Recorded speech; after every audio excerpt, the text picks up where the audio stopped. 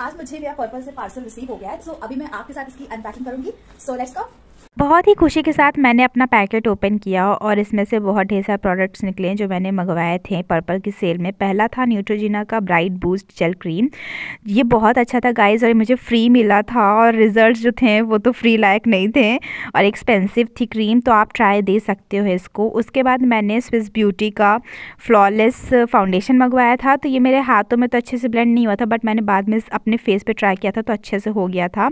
फिर मैंने sugar pop का मस्कारा मंगवाया था पैकेजिंग बहुत सही थी एंड इसका अच्छे से ये लग गया था। मुझे मतलब मैंने अप्लाई करके देखा था। फिर शुगर पॉप का ये ब्राउन काजल भी काफ़ी अच्छा था।